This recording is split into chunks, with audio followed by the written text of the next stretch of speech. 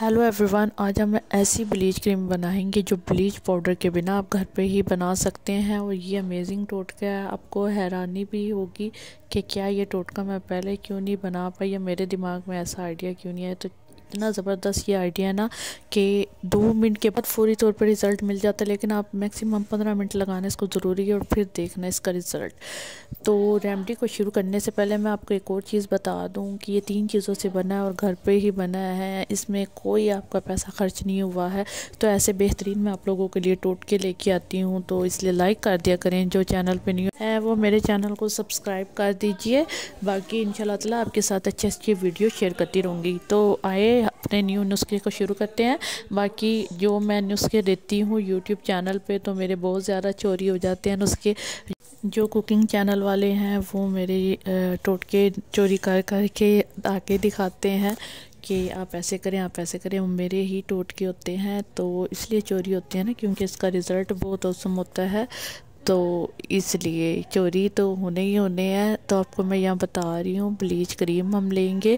Bleach cream के अंदर जो पाउडर होता है ना एक्टिवेटर उसे नहीं हमने यूटिलाइज़ करना। क्रीम हमने ऐड करनी है सिर्फ़ ब्लीच क्रीम, जो ब्लीच में से निकलती है, ठीक है? मेरे पास काफ़ी सारी पड़ी थी, मैंने एक ही इस्तेमाल करनी थी।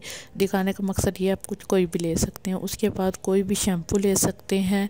आपके पास कोई भी शैम्पू है, माल्ट सा, आप सर पे जो इस्तेमाल करते हैं। दो चम्मच भर के अपने शैम्पू के ऐड करने हैं और हफ़्ते में तीन दफ़ा इस नुस्खे को आप इस्तेमाल कर सकते हैं हाथों पाँव के लिए। सिर्फ़ ये नुस्खा है, फेस के लिए नहीं है।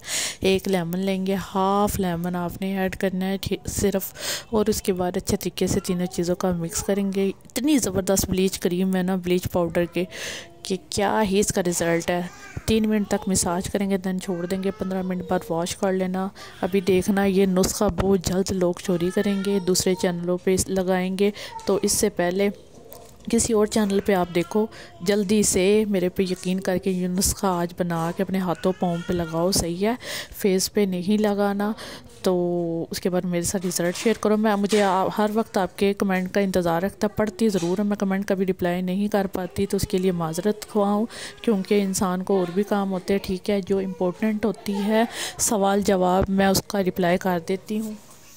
तो काफ़ी क्लाइंट्स को मैनेज करना पड़ता है, ठीक है? आवाज़ आपको आ रही होगी पीछे बच्चों की तो ऐसा भी वक्त नहीं है मेरे पास, मैं अकेले बैठ के किसी खामोशी वाली जगह पे जाके रिकॉर्डिंग कर सकूँ।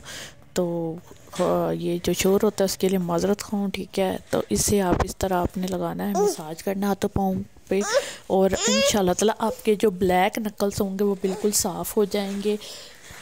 कि रात को ग्लास रीन में हल्का सा लोशन डाल के लगा लिया करें थैंक यू